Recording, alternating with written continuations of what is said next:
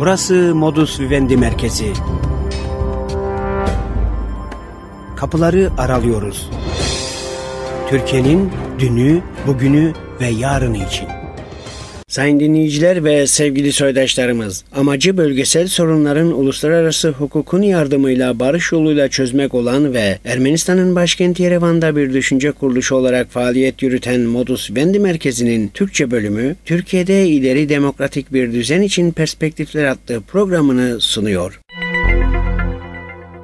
Büyük Orta Doğu Projesi BOP, özü itibariyle yeni sömürü tarzının bir yöntemidir. Temeli eşitsizlik, adaletsizlik ve antidemokratik yöntemlere dayanır. Bu yöntemden yana olan her iktidar savaş yanlısıdır, asimilasyoncudur. AKP hükümeti sürekli karmaşa yaratan bir iktidar görevini üstlenmiştir. Her yeşeren umudu donduran, gündeme gelen her olumlu projeyi hemen karartmaya çalışan bir politik tutum içindedir. Kapitalizm insanlığı ve doğayı belki de geri dönülmez biçimde katlediyor. Türkiye'de sömürü düzeni sürsün diye hissizleşmiş ve muhtaçlar toplumu yaratılmıştır. Türkiye herkesin bildiği Ermeni soykırımı gerçeğini bir gün kabul edecek. Her türlü modernleşmenin koşulu demografik modernleşmedir. TC'deki ataerkil düzen her türlü toplumsal gelişmeyi engellemektedir. Kadınlar devinim ve değişimin motorudurlar.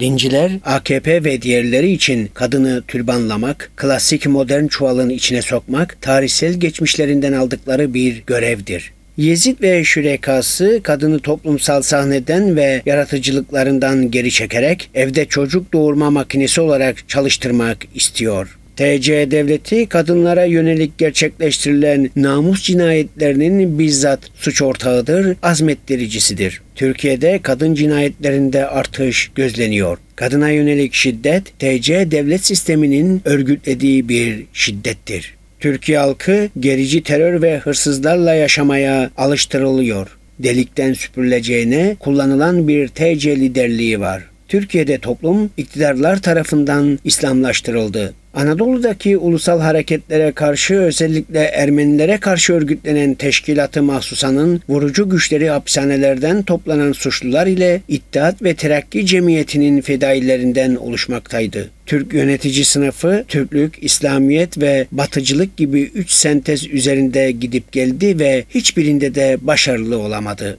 12 Eylül askeri cuntası TCD klasik Kemalist laikliğe son vererek dini devletin gözetiminde siyasi yaşama entegre etmiştir. Türkiye Cumhuriyeti Başkonsolosu vatandaşlarını camilere, İslamcı örgütlere çağırıyordu. Yıllar sonra işte sonuç ortada. Herkesin gözü önünde. Türkiye'de gerici İslam'ın arkasında kapitalist internasyonal bulunuyor. Avrupa İslam'a kucak açtı, anasının bacak arasını gördü. TC, Türk İslam sentezini MHP uzantıları aracılığıyla Avrupa'daki Türk çevresine taşıdı. TC'deki İslam, emperyalizmin kalite kontrol damgasını taşıyan İslam'dır. Türkiye dirisini koruyamayıp ölüsünü mahkemeye çağırabilen ilginç bir ülkedir. Türkiye'de çevre sorunu gündemin arka sıralarında yer almakta ve marjinalleştirilmiş durumdadır. Kapıları kapalı tutan Türkiye bir gün bu kapıları açmak için çilingire ihtiyaç duyacak. Türkiye'de iktidardaki güçler farklı seslere tahammül edemiyor. Türkiye'de gençler arasında siyasete katılım oranının son derece düşük olduğu tespit edilmiştir. TC'nin çağdaş yaşam karşıtlığı, toplumsal örgütlenme düşmanlığı, Alevi düşmanlığı, kadın düşmanlığı Türkiye'nin körfezleşmesine yol açıyor